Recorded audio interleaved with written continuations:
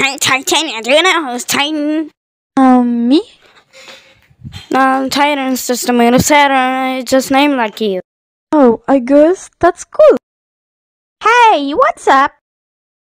Miranda was asking me question about do you know Titan?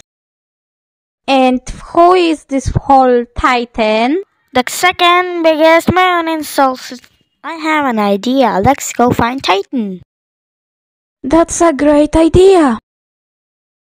Uranus won't gonna be angry? Nope.